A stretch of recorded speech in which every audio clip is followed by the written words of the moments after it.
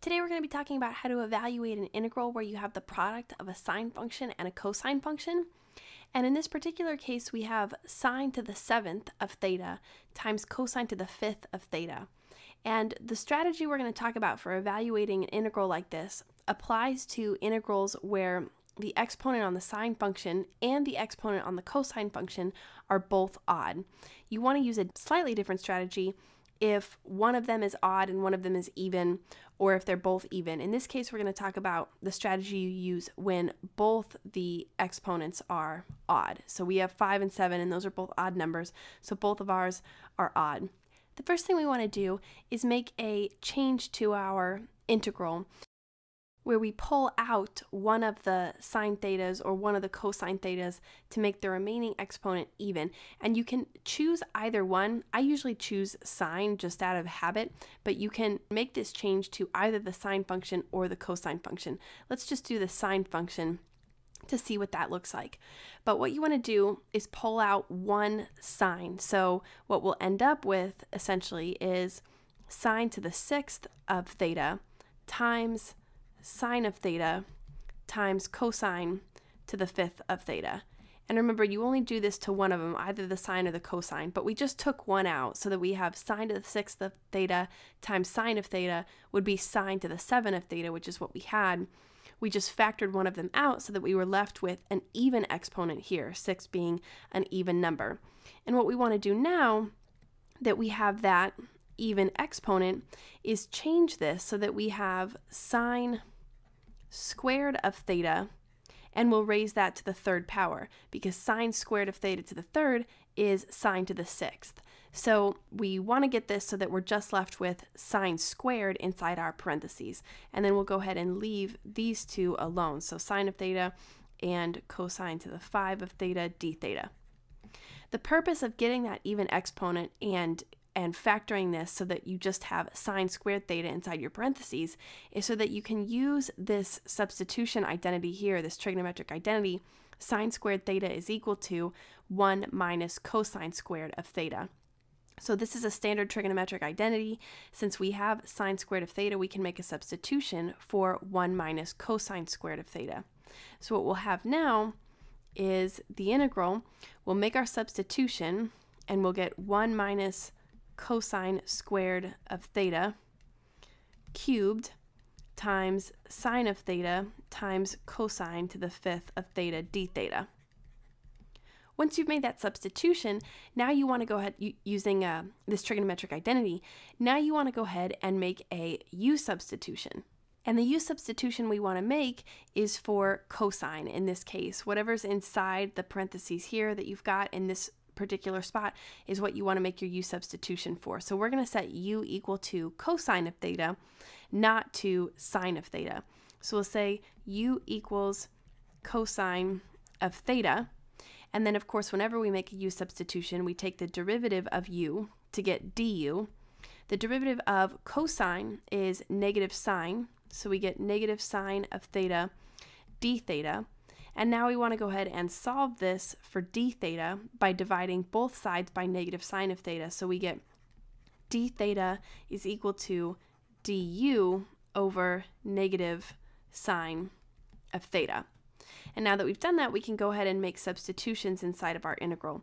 The reason that we set u equal to cosine of theta is because we had cosine of theta inside of our parentheses here, and we really wanted to make sure that we got that simplified. So what we're left with is 1 minus, because u is equal to cosine of theta, cosine squared of theta is going to be equal to u squared. So we have u squared and then cubed, of course. Now here, we're going to go ahead and leave the sine of theta. Cosine to the fifth of theta will just change to u to the fifth. And then we know that d theta is equal to du divided by negative sine of theta. And this is why this strategy works out so well is because now, as you can see, we have a sine of theta in our numerator and a sine of theta in our denominator, so those two will cancel. Keep in mind it's really important that this negative sign does not cancel. It has to come out in front as a constant coefficient. We'll actually pull that out in front of our integral. What we'll have now is we'll pull out the negative sign, so we'll get negative, and then we have the integral here from 0 to pi over 2. Now what we're left with is u to the fifth, which will kind of move out in front here, times 1 minus u squared cubed du. All we need to do now is simplify. We need to expand this and simplify it so that we ju are just left with a simple polynomial, and then we can go ahead and take the integral. So I'm going to do that really fast, and then once we've got this simplified, we'll evaluate the integral.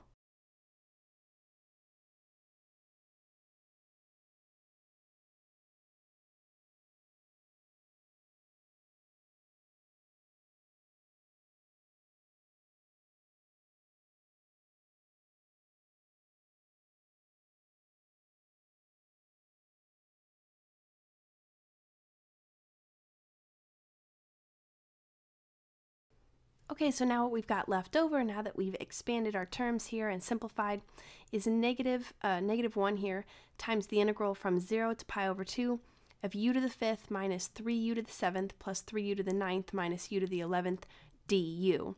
So now we can easily integrate. What we'll get is negative times, and we're just reversing the power rule here. So remember, we just add 1 to the exponent, so 5 plus 1 gives us 6, and then we divide by the new exponent, so what we end up with is 1 sixth u to the 6th. And we'll go ahead and apply that through, and we'll get negative 3 eighths u to the 8th plus 3 tenths u to the 10 minus 1 over 12 times u to the 12th.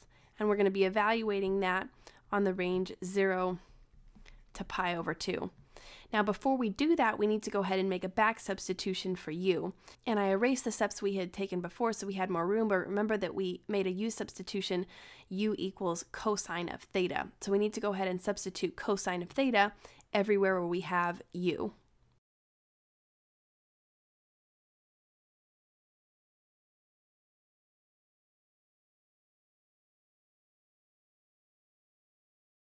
Now in order to evaluate this definite integral, we need to go ahead and plug in this top number, pi over 2. That's our upper limit of integration, and then we'll subtract whatever we get when we plug in 0, and we'll get to our final answer. So cosine of pi over 2 is just 0, and 0 raised to the sixth power is still 0. So what we're going to end up with here when we plug in pi over 2, notice we have all cosines here. So essentially we're going to get 0 minus 0 plus 0 minus 0 when we plug in pi over 2. So that's the first piece. Then we're going to subtract whatever we get when we plug in 0. Cosine of 0 is 1, and 1 raised to the 6th power, 8th power, 10th power, 12th power is still just going to be 1. So essentially all we're left with is 1 sixth minus 3 eighths plus 3 tenths minus 1 twelfth. And now we just need to simplify. So obviously all of the zeros don't matter. This negative sign will cancel with this negative sign. So we'll just have 1 sixth minus 3 eighths plus 3 tenths minus 1 twelfth. Now we just need to find a common denominator. Our common denominator is going to be 120. So in order to get 120, we'll multiply 1 sixth by 20 over 20. We'll multiply negative 3 eighths by 15 over 15. We'll multiply 3 tenths by 12 over 12. And we'll multiply negative 1 twelfth by 10 over 10. So what we'll get is 20 over 120 minus 45 over 120 plus 36 over 120 minus 10 over 120 when we simplify that. And 20 minus 45 plus 36 minus 10 turns out to be 1. So we have 1 over 120 and that is our final answer.